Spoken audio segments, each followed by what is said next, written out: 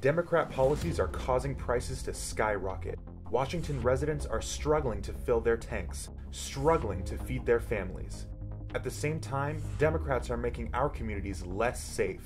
It's not just Seattle. Crime is spreading across our state, and Democrats are making it harder for police to keep up.